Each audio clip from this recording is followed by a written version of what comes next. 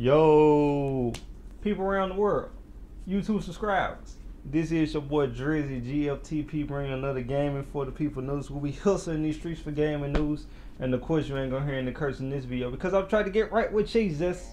Let's get to the topic at hand, people. For those of you who been waiting for the Battlefield 1 beta is open today, but only towards the users that have signed up like a while back ago. Like for everyone else, it'll be open like by tomorrow, so you'll have to check it out.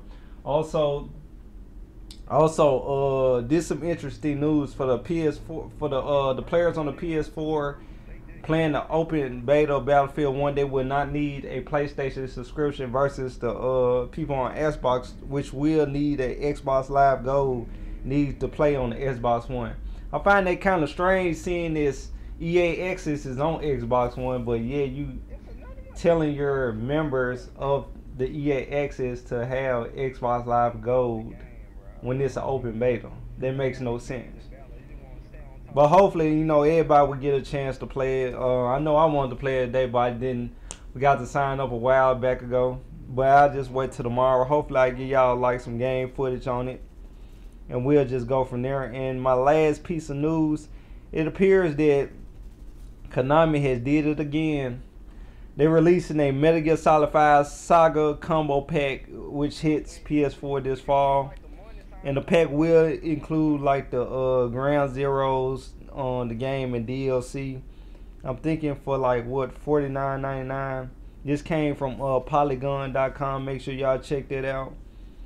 But my thing is, this game ain't been out like that long for you to release a remake of it or what remaster or rehash of it. Like you know, release games like Dead Space on Trilogy Collection or Call of Duty Trilogy Collection for the PS4 instead of a Metal Gear Solid Five. This ain't nothing from my perspective, nothing but a money grab if you look at it from the inside out.